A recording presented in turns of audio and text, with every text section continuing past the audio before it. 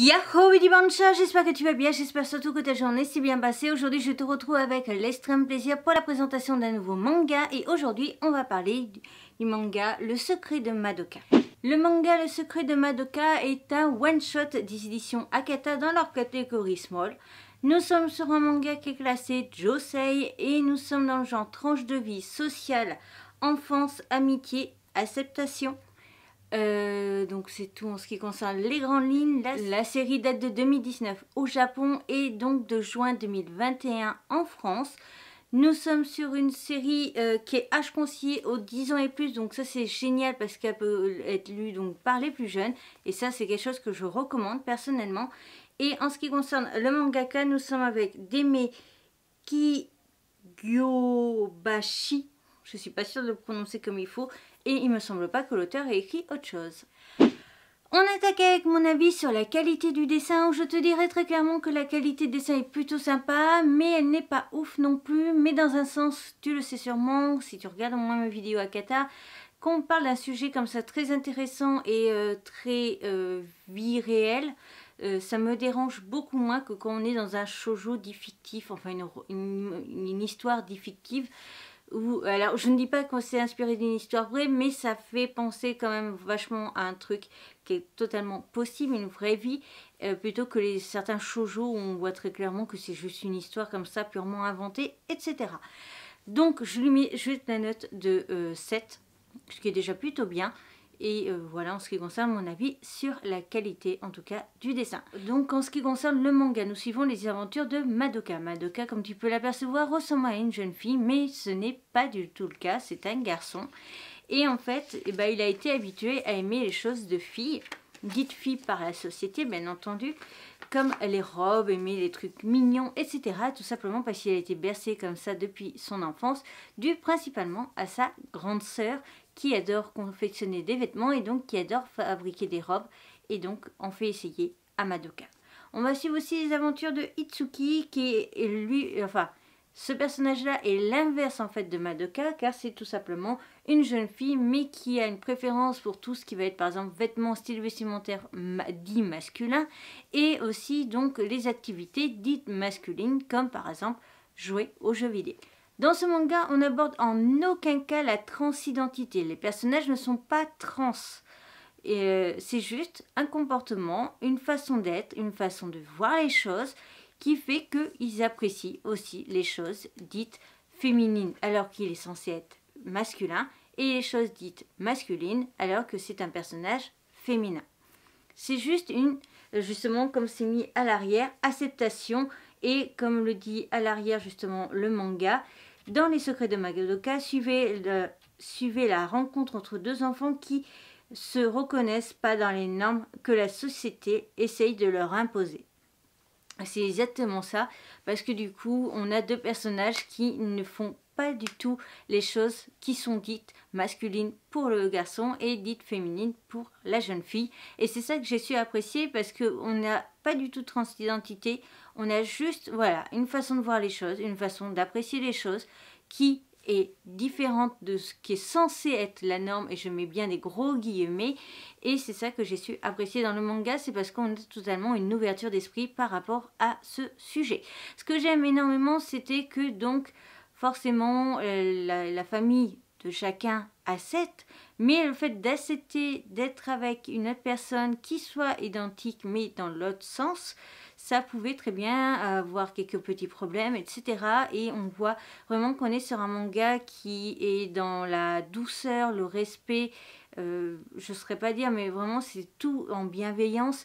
Certes, bien entendu, dans les camarades de classe, ça ne va pas forcément être accepté totalement quand euh, justement leur secret, leur vie cachée va être dévoilée. Mais c'est ça aussi qui est intéressant, c'est qu'on a une réaction tout à fait normale de gens justement qui ne sont pas forcément ouverts d'esprit sur ce thème. Et donc ce qui va créer quelques petits soucis dans l'aventure. Mais ce que j'ai aimé c'est que justement tous ces comportements étaient 100% vrais. Et donc pourraient correspondre tout à fait à justement si cette histoire était la vraie vie et était une histoire réelle ou inspirée par exemple d'une vraie vie d'une personne. Et c'est ça que j'ai su apprécier, c'était cette proximité avec le vrai monde, en ce qui concerne cette aventure. Pour ce qui est du manga, je te dirais tout simplement qu'il a été super bien travaillé. J'avais peur qu'un one-shot soit pas suffisamment développé, surtout qu'en fait, il n'est pas forcément spécialement plus épais qu'une taille standard. Donc c'est ça aussi que j'ai su apprécier, c'est le fait que l'auteur ait suggéré son œuvre en un one-shot et faire quelque chose de très beau et de très propre. On termine donc avec mon avis sur la qualité des couvertures et je te dirais que la couverture avant est juste magnifique. Je trouve qu'elle est très simple mais efficace et elle montre vraiment la situation. À l'arrière, on va voir les trois autres personnages clés de la série. On est resté sur ces petites fleurs que l'on avait du coup à l'avant. Donc ça, c'est quelque chose que j'ai su apprécier. On a le résumé, une grosse phrase d'accroche. Ici, les sous-catégories faites par Akata. Donc la phrase d'accroche c'est dans le secret de Madoka, suivez la rencontre entre deux enfants qui ne se reconnaissent pas dans les normes de la société, essayent de leur imposer à travers leur histoire d'aimer euh, Kingyo Bashi invite à l'ouverture d'esprit et à la compréhension de l'autre. Donc on enlève la jaquette, je te dirai les titres tout à l'heure. On ajoute des petits croquis de tous les personnages. Donc ça, ça me plaît bien. Voilà. Et donc là, le côté de notre personnage. Voilà. Pour ce qui est donc des mangas euh, que Akata conseille de disponible également, c'est qui mon voisin de classe? J'ai fait une critique tome 1. Euh, My Fair Honey Boy, j'ai fait une critique tome 1 et la série va pas tarder à se terminer. Euh, euh, Whispering, ça c'est un manga où, qui est en 4 tomes je crois, non en 6 pardon, et je n'ai pas du tout accroché. Ensuite, je crois que mon fils est gay que je t'ai déjà présenté. Entre deux que je t'ai déjà présenté. Autour d'elle, j'ai fait une critique tome 1. A Thing of Affection, je t'ai fait une critique tome 1.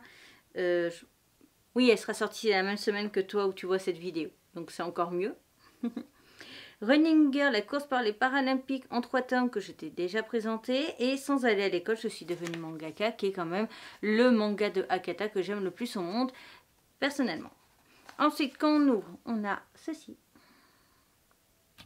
Alors, je dis pas que euh, le enfin, sans aller à l'école, je suis ni mangaka, c'est mon préféré dans le sens où c'est la meilleure histoire. C'est juste que j'ai un coup de cœur pour cette série euh, à côté. Autre.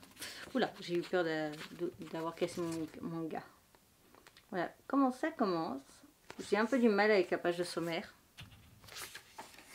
Et on continue directement. Je ne sais plus si on a vraiment des pages entre chaque chapitre. Si, là. En voilà une.